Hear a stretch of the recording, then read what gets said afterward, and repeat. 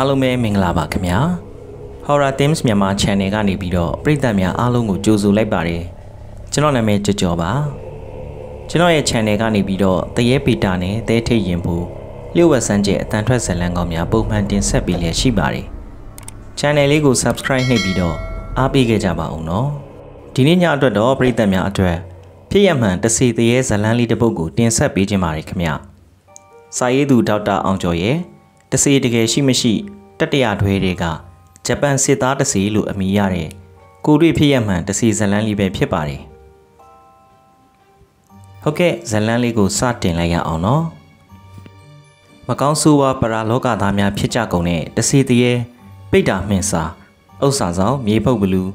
ချက်စတာတွေမကျွတ်လွတ်သူများကို တွေးကြရတော့မယ်ဆိုရင်ကြက်သီးမွေးခြင်းထခြင်းနေကြောချမ်းခြင်းကောင်းနှပန်းကြီးခြင်းတို့ဖြစ်တတ်ကြတာကို လူပြောသူပြောများလာပါတယ်ကျွန်တော်ကိုယ်တိုင်ကလည်းတောင်ကြီးမြို့ကုန်းတာကျောင်းတောင်ဘက်ဝင်အဆက်ရှိညောင်မင်းကြီးအောက်မှာကြုံတွေ့ခဲ့ရတဲ့ဘုန်းကြီးတစီအကြောင်းကိုတစီတကယ်ရှိမရှိစာအုပ်မှာရေးသားဖော်ပြတော့ရှေးဦးလက္ခဏာများဖြစ်တဲ့ကြောချမ်းကကြက်သီးမွေးထားခြင်းဒီနောက်တော့ခေါင်းကြီးတစ်ဖြည်းဖြည်းကြီးလာရာကနေကို့ခေါင်းကိုကိုမနိုင်တော့တယ်လို့လို့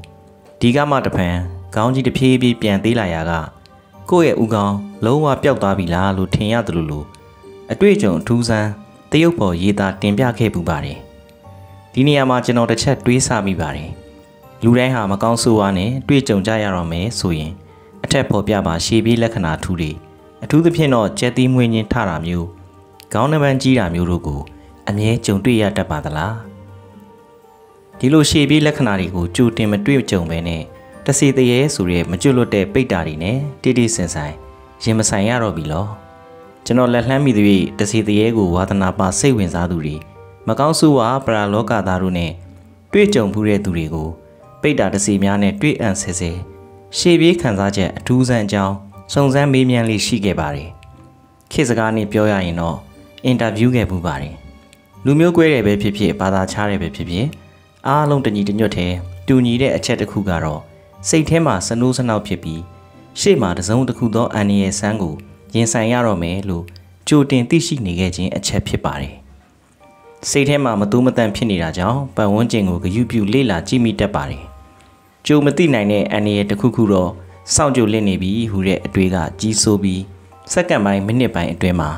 အပုံနှံ့ရခြင်းဖြစ်ခြင်းဖြစ်ပါမယ်ကြိုကြိုချွချွအတန်ပလန်ကြားရခြင်းတွေလည်းဖြစ်ပါမယ်ဒါမှမဟုတ်လေဖြူဖြူအရိပ်ရောင် မဲမဲအရိပ်ရောင်တို့ကိုမြင်တွေ့ရတတ်ကြောင်းပြောပြတတ်ကြပါတယ်ဆိုရင်ထိတ်လန့်တဲ့စိတ်ကြောင့်အနံ့ရခြင်းကြားခြင်းနဲ့မြင်တွေ့ခြင်းမဖြစ်နိုင်ပြီလို့လို့ထက်ဆင့်မေးမြန်းတဲ့အခါထင်အောင်ထင်မှားမြင်ခြင်းစိတ်ဆွဲလန်း၍ကြားခြင်းစိတ်ကူးရင်ပြီးအနံ့ရခြင်းများမဟုတ်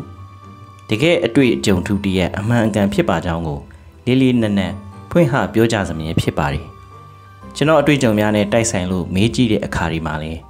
အများသူတကာတို့ပြောပြကြတဲ့ ထူးထွေအတွေ့အကြုံစမ်းများနဲ့ထပ်တူထမ်းများဖြစ်နေကြောင်းကိုတွေ့ရပါတယ်။တစီတရေတွေနဲ့ရှေ့မှာမကြမီတွေ့ရတော့မယ်ဆိုပါကကြက်သီးမွေးခြင်းထတက်ကြောင်းကောင်းတပန်းကြီးတက်ကြောင်းတို့ကိုတစီအချောက်ခံရသူတို့ကြိုတင်သိနာလေထားကြတာကများပါတယ်။တစီတရေတွေနဲ့တွေ့ရင်လည်းပုံမှန်လူစိတ်မရှိတော့ပဲခြေနဲ့မြေကြီးလွတ်နေသလိုလိုကိုခန္ဓာကြီးပေါ့ပါပြီးတော့လေထဲမှာလွင်မျောနေတဲ့ရောင်ရောင်ဒါမှမဟုတ်လေခန္ဓာကိုယ်လေးလံလွန်းနေပြီးခြေမတင်နိုင်လက်မတင်နိုင်ဖြစ်နေတာမျိုး မိမိကိုယ်ခန္ဓာအစိတ်ပိုင်းတွေကိုလုံးဝလှုပ်ရှားမရတာမျိုးအော်၍မရအတန်လုံးဝမထွက်တော့ခြင်း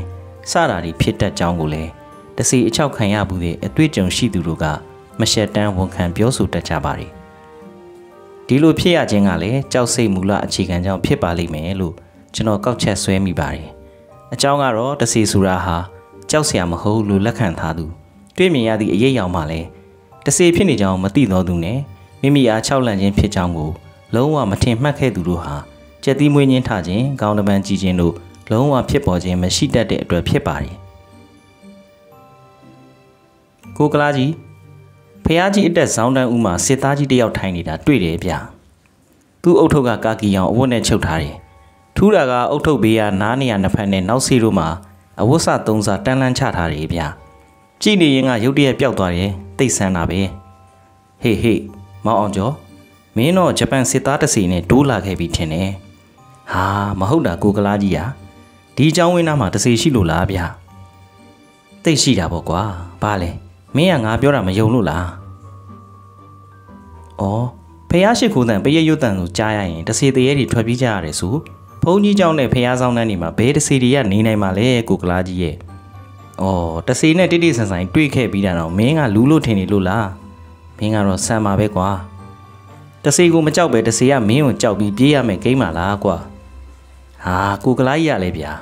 ဂျပန်စစ်သားတစီဆိုတာကြီးကကျွန်တော်6မှမ6ပဲရီတောင်ရီပြနေသေးတာရွှေသွားတွေမှာတုံလေးချောင်ပြောင်းဝင်းလို့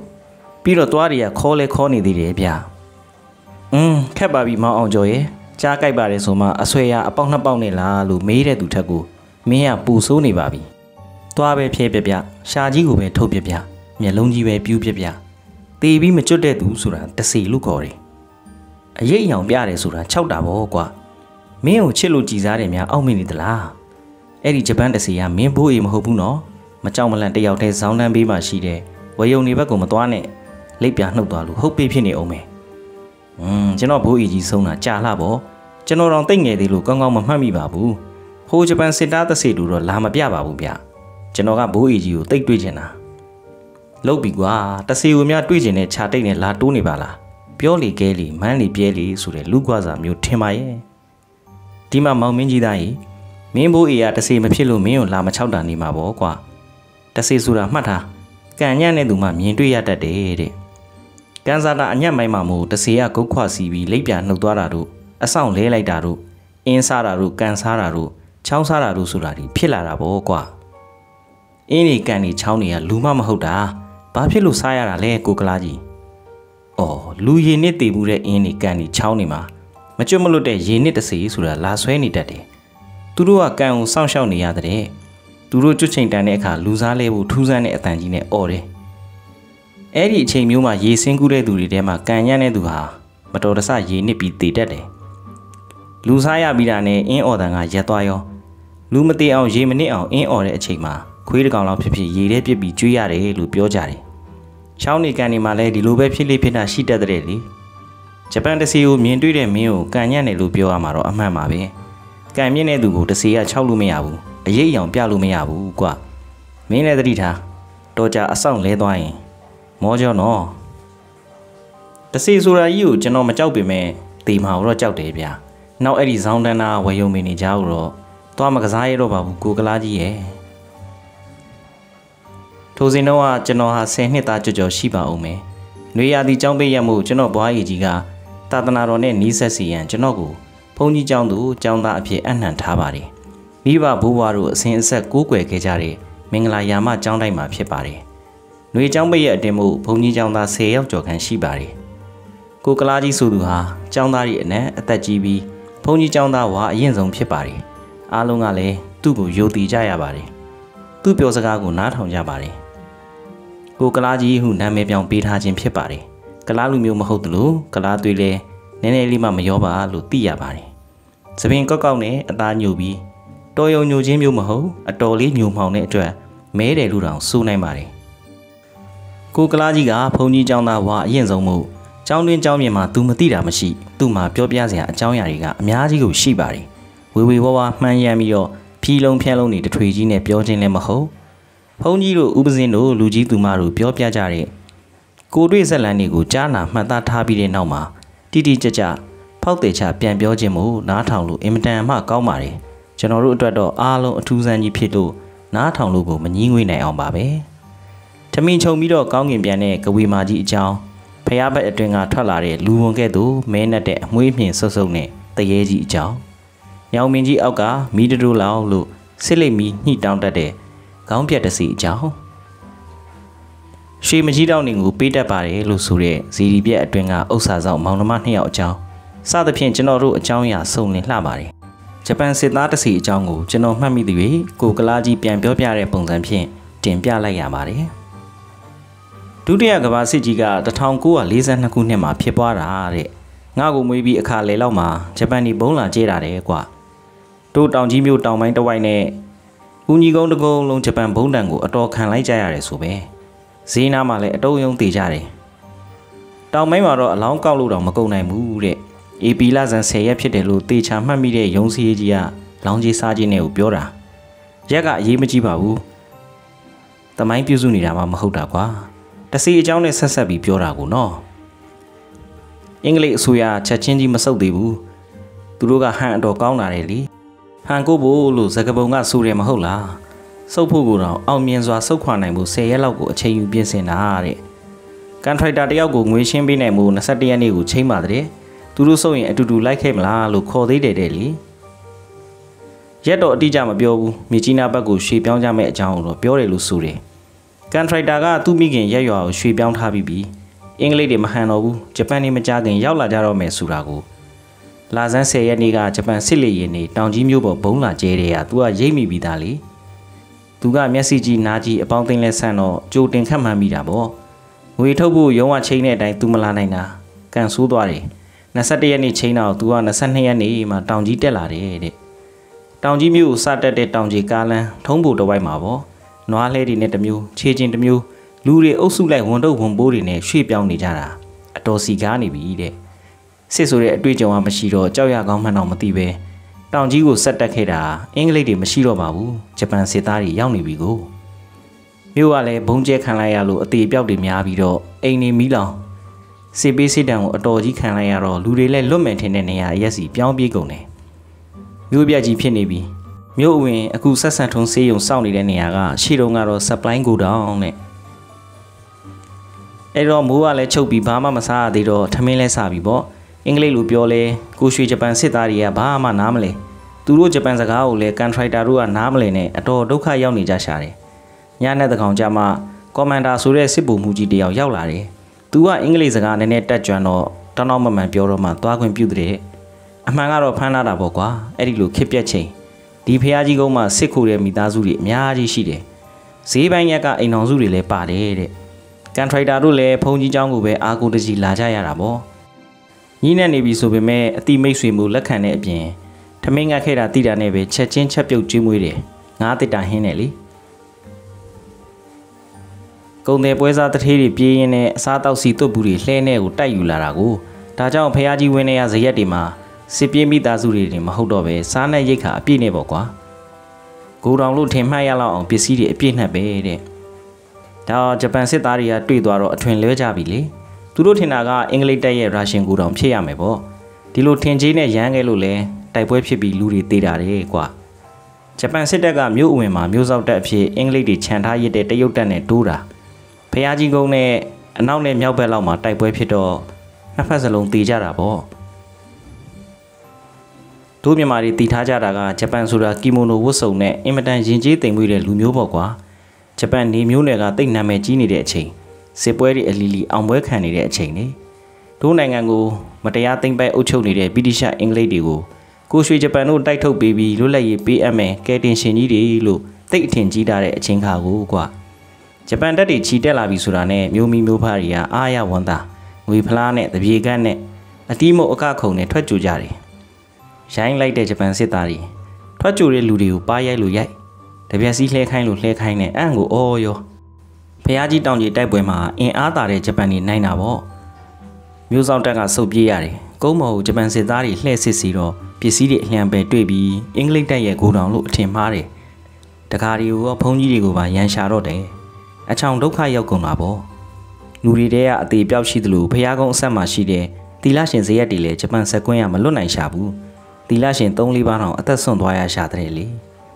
တို့မင်္ဂလာယာမဘုန်းကြီးကိုတကားရီရရှောင်ပြေးဖို့လျှောက်တော့ဘုန်း ကြီးကတတ်တီကောင်းတယ်ခက်တီတီပဲဘဲဟုမှမကြွမပုံဘူးတဲ့တနေ့လေခင်းမှာဂျပန်စစ်သားတစုအကြောင်းပေါ်တဲ့ကိုတက်လာကြတယ်တဲ့ဂျပန်စကားနဲ့ပြောတာဘယ်သူမှနားမလည်ကြဘူးရန်သူကိုရှာတယ်နဲ့တူပါတယ်တယောက်နဲ့တယောက်စကားမပေါက်ကြားကြတာကအဆိုးဆုံးပဲအထင်အမြင်လွဲမှားကြလက်လွန်ချေလွန်နေဖြစ်ကြတာပေါ့စိတ်တိုင်းမကြရင်ဒေါသထွက်ပြီးဒေါသအလျောက်ပြုတ်လို့ပြောဆိုမိကြပြီဆိုတော့မှားကြပြီတဲ့။ကျောင်းပေါ်တဲ့အောက်ထက်အခန်းရှိသမျှငွေနှောက်ကြတော့တာ။ တွေးတဲ့သူကိုတနက်နဲ့ချိန်ရွယ်ထားတဲ့အပြင်စိတ်တိုင်းမကြရင်ပါးကိုလဝါးနဲ့ဖျက်ရိုက်သေးတယ်။စိတ်မထင်ရင်ဘက်နက်နဲ့ထိုးသေးတာတွေဗျာ။လူဖုံးတော်ကြီးရဲ့ဘယ်ဘက်လက်မောင်းမှာဂျပန်စစ်သားရဲ့ဘက်နက်နဲ့ထိုးတဲ့တိုင်ကအမာယူကြီးဒီနေ့ထိမြင်နိုင်သေးတယ်လी။ဘုန်းကြီးကလည်းရင်းနှီးတဲ့တကားတွေကိုဘက်နက်တိုင်ကအမာယူကြီးကိုပြလိရှိတယ်ကွာ။ဖြစ်ပုံကဘုန်းကြီးကန်းထဲကိုဝင်ပြီးအကြမ်းပဒံမှွေနောက်တာတဲ့။ဘုန်းကြီးဆိုတာလူတွေကရှစ်ခိုယူသေးရတယ်မဟုတ်လားအခုတော့မလေးမစားမထီမဲ့မြင်ဆက်ဆံတော့ ဘုန်းကြီးလည်းဒေါသထွက်လာတာပေါ့ဘုန်းကြီးကဝင်တားတာကိုဂျပန်စစ်သားကလည်းခုခံအာခံရကောင်းလားဆိုပြီးဘုန်းကြီးဘယ်ဘက်လက်မောင်းကိုဘက်နဲ့နဲ့ထိုးတော့တာပဲတဲ့မင်းအရေးရောင်မြင်တဲ့ဂျပန်စစ်သားတစ်စီဟာအဲ့ဒီဘုန်းကြီးကိုဘက်နဲ့နဲ့ထိုးတဲ့ဂျပန်စစ်သားပဲသူလည်းချက်ချင်းဘိုးလိုက်ခံရတယ်ဆိုပဲဘုန်းကြီးအခန်းကိုမှွေပြီးတဲ့နောက်ပစ္စည်းတွေတူမိထားတဲ့ကြက်တရီကန်းကိုရိုက်ဖွင့်ပြီးလိုချင်တာတွေယူပါလိရောတို့ဘုန်းကြီးကိုဂိုင်းတောက်ရတူဆက်ကပ်ပြီး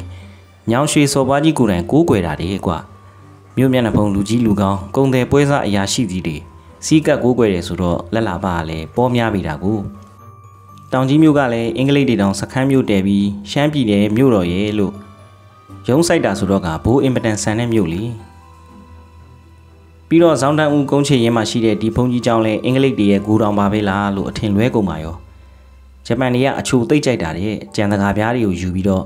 သူ့အိတ်တောင်ရှိသမျှအထက်အကုန်ထိုးထည့်တာတဲ့လေကြံတကာပြားကြောင့်လဲတို့ဘုံကြီးကိုဘက်နဲ့နဲ့ထိုးတဲ့ဂျပန်သူလို့ပဲအတက်ပြောနိုင်တာပေါ့သူကစိတ်ဆိုးမှန်ဆိုးနဲ့ပါဇက်ကဂျပန်လိုဆဲရီတိုင်းထွာ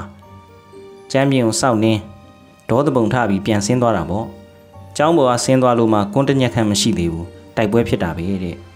တရုတ်တက်တွေနဲ့ရင်ဆိုင်တိုးတော့သူတို့အတွက်ကန်ဆိုးတာလေမျိုးစောက်တက်ဖြစ်အင်္ဂလိပ်တွေခြံထားရတဲ့တရုတ်တက်ကစုပ်ရင်ခုခံပြစ်ရင်နဲ့စုပ်ရမ်းရမ်းသွားခဲ့ကြတာ အဲ့ဒီဂျပန်စစ်သားကြီးကကြည်တဲ့တယ်ရင်ညွန့်အောက်မှာတဲ့သွေးတွေတစ်ဆက်ဆက်လမ်းတစ်ဖက်ကဘိုက်ကိုဖိပြီးတော့တို့ကြောင်းဘက်ကိုဦးရဖားရပြေးလာတာကိုကြောင်းကြီးဘော်ကနေဘုန်းကြီးကမြင်လိုက်တဲ့ခေတ်ကာလကြီးကစစ်မက်ဖြစ်ပွားနေချိန်ဆိုတော့ဘယ်သူမှအိမ်နဲ့အိမ်ပြင်မထွက်ရဲကြဘူးတူတူတူကူညီဆောင်ရှောက်ဖို့ဆိုတာအလွန်အင်ပတန်မြစ်တာကြီးမှစေတနာထက်သန်လုံးမှဖြစ်နိုင်တဲ့အခါကိုတနတ်တန်ကြီးဆဲသွားခဲ့တာတော့မှဘသူမှအပြင်မထွက်ဖို့မူညမှောင်လို့မိုးချုပ်တော့ ကူလီတက်ဖို့ဥပစင်းငယ်တပါဝါယုံဘက်ကိုကြွသွားတယ်တအားအားနဲ့ညင်းညူတဲ့အတန်ကိုတက်တက်ကြားလိုက်လို့တစီ၆တဲ့အောက်မိပြီးကြောင်းကြီးပေါ်ကိုပြေးတက်လာပါလေရောဘုန်းကြီးမှလည်းဗက်နက်နဲ့အထိုးခံထားရတဲ့ဒဏ်ရာကိုနှွေးနေတိတ်ပြီးတင်ကန်းစီးထားရတဲ့အချိန်အနာရှင်ကြိုက်လို့တရားမှတ်တဲကြီးခံနေတော်မူရှာတယ်တစီ၆တာတော့မဖြစ်နိုင်ဘူးညနေကကြောင်းဘက်ကိုဘိုက်ကသွေးတစ်ဆက်ဆက်ကျနေတဲ့ဂျပန်စစ်သားတယောက်ပြေးလာတာတွေ့တယ်ဝါယုံနားမှာပျောက်သွားတာပဲသူပဲဖြစ်လိမ့်မယ်ဥပစင်းကြီးတွေ သွားကြည့်လိုက်ကြပါဦးလို့ဘုန်းကြီးခင်ဗျသူ့ဝေဒနာကိုအသာထားပြီးစီစဉ်ညွှန်ကြားတော်မူပါတဲ့ရေနံစီမိကွက်မမင်ကိုတောင်းနဲ့အုပ်ပြီးသွားကြရတယ်စစ်ကြီးအတွင်းမှာညအချိန်မီးမထွန်းရလို့အမိန့်ထုတ်ထားလို့တယ်လေအချိန်မရွေးလေရင်လာဝဲနိုင်ပြီးမီးအောင်တွေ့ရင်ဘုံကျဲမှာဆူလို့တဲ့ဘုန်းကြီးထင်တဲ့အတိုင်းဟုတ်နေပါတယ်ဝါယုံတော်ထဲမှာဂျပန်စစ်သားတူလဲပြီးမေ့မျောနေတယ်သွေးအန်ကြီးကထွန်းလို့အသားရည်တွေကအေးဆက်နေတယ်အတန်တိုးတိုးလေးညီးနေတယ် သွေးထက်တဲ့ဒဏ်ရာကိုတင်ကန်းနဲ့ပတ်ပြီးတော့ကြောင်းအောက်ကိုထမ်းရွှေ့ခဲ့ကြတယ်အသက်ပြန်မလဲပါဘူးနှခမ်းကြီးခြောက်နေလို့ရေတစက်ချင်းချပေးရတယ်သူ့အိတ်ထောင်ထဲမှာကြံတကာပြားတွေတွေ့တော့မှညနေပိုင်းကဘုန်းကြီးကိုဗတ်နက်နဲ့ထိုးခဲ့တဲ့ဂျပန်စစ်သားကြီးပါလားဆိုတာသိရတော့တယ်နွေ့နွေ့ထွတ်ထွတ်ဖြစ်မလားဆိုပြီးစောင်းနေခွန်းကတ်တွေခြုံပေးနေပါတယ်လူနာအနားမှာမီးဖို့ပေးတယ်ဘုန်းကြီးကစွန့်လို့ရေနွေးအိတ်တစ်လုံးကိုရေနွေးထည့်ပြီးကြောဘက်မှာကပ်ပေးတယ် ခစ်ပြက်ကြီးထဲမှာဆရာဝန်ဆိုတာငူးလို့ရှူစရာတော့မရှိဘူးဘာစေးဝါမှလည်းမရှိတက်ဆွမ်းနိုင်သမျှလေးနဲ့ပြုစုကြပေမဲ့ဒဏ်ရာကသွေးလွန်ထားတော့သွေးရဆုပ်နေပြီမြင့်မို့သွေးကိုတော့မနေကြီးဆိုင်းယူရတဲ့အခြေအနေကမကောင်းလှဘူးဒီတညတော့ကြော်ပါမလားပဲကြော်နိုင်မယ်လို့တော့သိမထင်ကြဘူးအဲ့လိုခံမှန်းတဲ့အတိုင်းပဲမှန်နေပါလေအာယုံတက်ပြီးလင်းအားကြီးမှပဲကွယ်လွန်ရှာတဲ့လေဆရာတော်တိုင်ရလဲအတော်ကြီးရောင်ကိုင်းနေပြီတန်စိတ်တက်တာပေါ့ အဖျားသွေးလဲဝင်နေပြီငန်းစေးတို့အဖြေကျော်တို့ကိုထမ်းရက်ချင်းကွန်ရွက်ပြုတ်ပူပူနဲ့တိုက်ထားရတယ်စွန်းတော့မဖုံးပြီးနိုင်တော့ဘူးယာကုကြဲကြဲလေးပဲဝင်มาတော့တယ်တဲ့ဘုန်းကြီးကလည်းတလကိုးသလင်းကြောက်အောင်ဘက်နဲ့ထိုးခံရတဲ့ဒဏ်ရာရဲ့ဝေဒနာကိုခံလိုက်ရတယ်စေပေးစစ်တမ်းကြောင့်လူတွေရှောင်တိန်ပြေးကုန်ကြတယ်တချို့ကလည်းအင်းလေးဘက်တချို့ကလည်းဟဲဟူကလောတချို့ကလည်းပင်လောင်းလွိုင်ကော်ဘက်တချို့ကလည်းမိုင်းတောက်ဘက်သူ့အဆက်နဲ့သူပေါ့စစ်ပေးလို့ရကိုလွတ်ပြီး မှန်းဆပြီးပြေးကြချောင်းကြတိတ်ညတာပေါ့ဒါပေမဲ့တို့ဘုံကြီးကတော့ကျောင်းပေါ်ကနေတဖွာမှမခွာဘူးတယ်လေကုန်းသာကျောင်းကြီးပေါ်တက်တဲ့လေရင်ဘုံကျဲတော့ပရင်းပေါက်ကနေတော့မြင်နေရတဲ့တကားကြီးကျောင်းအောက်ဆင်းပြီးဘုံခိုခြင်းနဲ့ဝင်နေဖို့ရှောက်တာကိုကံပိုင်တီမှာပဲကံမပိုင်လွတ်မှာပဲဘယ်နေရာနေနေဘယ်နေရာပုံပုံမထူးပါဘူးဆိုပြီးပြန်မိတ်နေဆိုပဲရှေ့ကကိုရင်နေဦးပစင်းနေចောင်းသားတွေတကားတကာမတွေနဲ့စီကားတဲ့ចောင်းကြီးဟာစစ်ဖြစ်လိုက်တာနဲ့ပဲ အလွန်ချောက်ကပ်သွားတော့တယ်တန်ဃာ၄၅ပါးနဲ့ကပ္ပိယတူပဲဘုန်းကြီးနဲ့တူတူကြံရစ်တာအားလုံးစစ်ပေးရှောင်ကုန်ပြီတဲ့ဂျပန်စစ်သားကြီးမကျွတ်ဘူးဆိုတာကိုရင်သောနာကစတင်လာတယ်လေတညမှာဘိုက်နာလို့ကိုရင်သောနာကကူလီတက်ဖို့ဆိုပြီးကျောင်းကြီးပေါ်ကဆင်းလာခဲ့တယ်ကူလီကလည်းဝါယုံတော်ဘေးကဖြတ်သွားရမှာဝါယုံတော်နာရောက်တော့ညင်းညူတန်တက်တက်ကိုကြားရတဲ့တေချာနားထောင်ကြည့်တော့ဟုတ်တယ်လူကြီးတန်ပဲခိုကြီးတန်မဟုတ်ဘူး မင်္ဂလာရာမကျောင်းတိုင်းမှာရှေးကလေးကခိုးရီအုပ်စုနဲ့နေကြတာဖះကြီးတက်တဲ့ဇောင်းနှန်းဦးကဘုံငါးစင်ပြတ်တဲ့ဆိုတာတွတ်နဲ့တစ်သားနဲ့စောက်ထားတော့အစ်စ်တိုင်းမှာခိုးတိုက်ဖွဲ့ပြီးနေကြတာကိုခုထိလည်းနေကြသေးပါလေညင်းညူတန်ကလူတယောက်ရဲ့ညင်းညူတန်လည်းဖြစ်နေတယ်ပြီးတော့လွန်ခဲ့တဲ့အပတ်ထဲကမှဂျပန်စစ်သားကြီးကိုတွေ့တဲ့နေရာလည်းဖြစ်နေတယ်အဲ့ဒီဂျပန်စစ်သားကြီးတည်ထားတာကလည်းရပ်ပိုင်းပဲရှိသေးတယ်ဆိုတော့ဘယ်ပြောကောင်းမလဲကိုရင်သောနာကြောက်လန့်ပြီးတော့တင်းပိုင်နဲ့ချေးတွေပန်းချပါလေရော အဲ့ဒီကစားလို့နောက်ပိုင်းညဘက်တည်းဆိုရင်ဘယ်သူမှကြောင်းကြီးအောက်ကိုမဆင်းဝန်းတော့ပါဘူးဝါယုံတော်ရှိတဲ့ကုလီဘက်သွားဖို့ဆိုတာတော့ဝေလာဝေးရောပေါ့ကပ်ပိယကြီးကတော့လူကြီးကိုတော်ရုံတိုင်ုံဘယ်ကြောက်တတ်လိမ့်မလဲမကြောက်တတ်တဲ့တတ်တိခဲမို့လို့လဲစစ်မပြေးပဲဘုန်းကြီးနဲ့အတူတူကြောင်းမှကြံရစ်တာပေါ့တညသူအိမ်မက်မြင်မဲ့တဲ့လေဘိုက်မှာဒဏ်ရာရလို့ကွယ်လွန်ရှာတဲ့ဂျပန်စစ်သားကြီးကရွှေသွားတွေဖြဲပြီးရဲတယ်ကြံတကာကိုစားပြနေတယ်တဲ့ကုလီသွားတဲ့တော်လန်အဝင်ဝါမှာရှိတဲ့ မုံသီးပင်ကြီးအောက်မှာစောင်းကြောက်ထိုင်လို့တယ်ပေါ့အိယာကနိုးလာတော့စိတ်ဆွဲလို့မှတ်တာနေမယ်ဆိုပြီးထားလိုက်တယ်နောက်၃လေးရက်ကြာတော့မနက်စောစော၃နာရီခွဲလောက်ဆွန်းထချက်ဖို့ကျောင်းအောက်ကိုအစင်လှေကားရင်းမှာအဲ့ဒီဂျပန်စစ်သားကိုအရေးအယောင်တွေ့တဲ့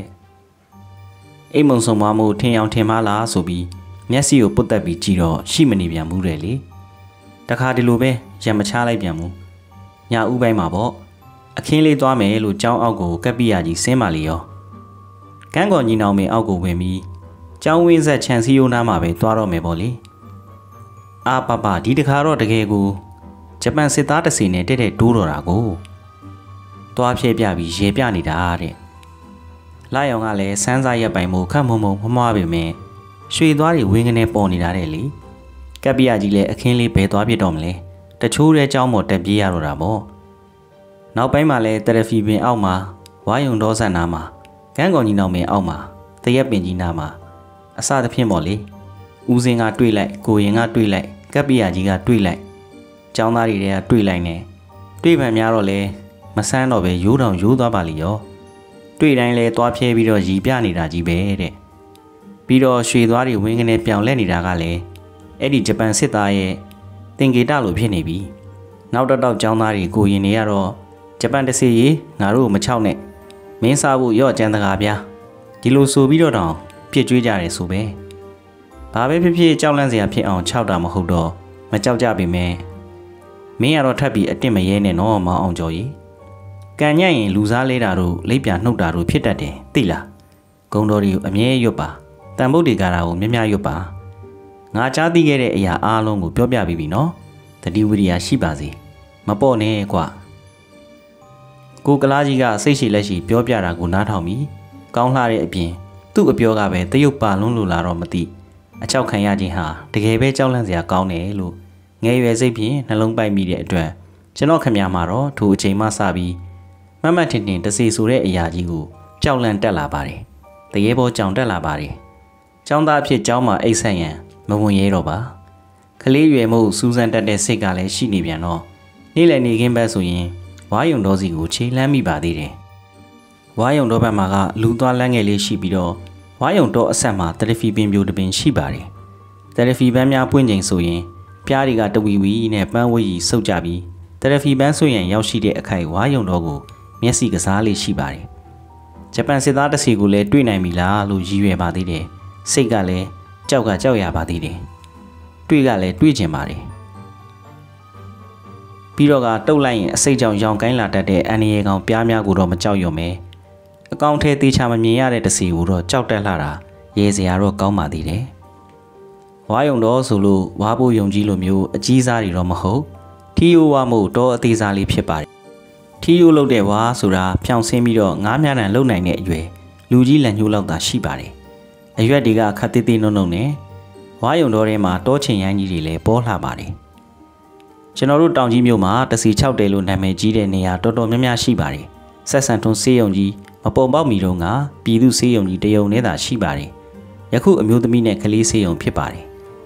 ယခုအဆုတ်ယောဂါကုဆေးရုံဟာရှေးတုန်းကတော့သားဖွားရုံဖြစ်ပါတယ်။ဆေးရုံကြီးဟာပြည်သူအားကစားကွင်းရှေးခေါ်ဘောလုံးကွင်းရဲ့တောင်ဘက်မှာတည်ရှိပါတယ်။ဆေးရုံဝင်းရဲ့အရှိမြောက်တောင်နေရာဟာရင်ခွဲရုံဖြစ်ပြီးထင်းယူပင်ပြူကြီးကြီးမားမားအုပ်အုပ်ဆန်းဆန်းရဲ့အောက်မှာရှိပါတယ်။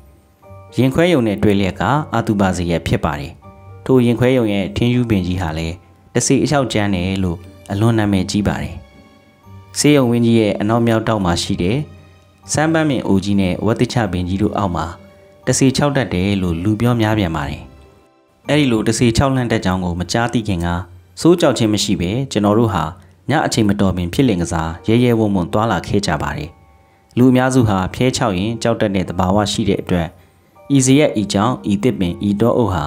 တစီ6ကျန်းတယ်လို့အများပြောတဲ့တင်စကားသိရှိရရင်တော့အလိုလိုနေရင်ကြောက်စိတ်ဝင်နေပါတော့တယ်။ကြောက်စိတ်ရှိလို့တူတူတတန့်ချိုးချိုးချွတ်ချွတ်အရေးရောင်ကိုရိတ်ခနဲ့မြင်ရယုံကြားရယုံနဲ့စင်ကျင်သုံးသပ်မှုကင်းမဲ့စွာ